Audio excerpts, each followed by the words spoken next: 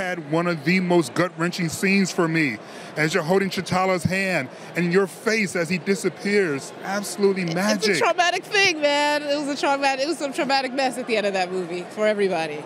You know, it's not cool. Not cool. Not cool. Not cool. Not cool, Thanos. No, not cool. That we go. Yeah.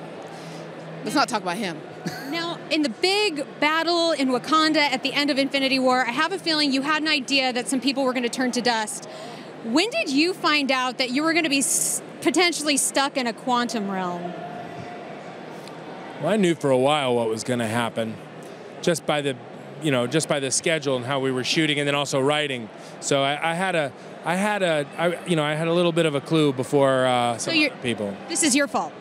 No, no, this has this is not my fault. and you didn't tell nobody, and was a so we couldn't prepare. Felt like government bad secrets. Stuff that was- happened. Okay. No. Yeah.